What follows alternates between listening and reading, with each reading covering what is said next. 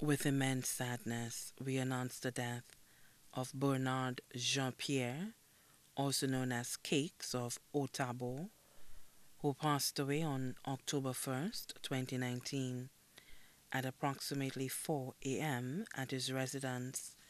He was 65 years old. The funeral arrangements for the late Bernard Jean Pierre, also known as Cakes, will be announced in a subsequent broadcast. The body now lies at Rambadi Funeral Parlor on Calvary Road, Castries.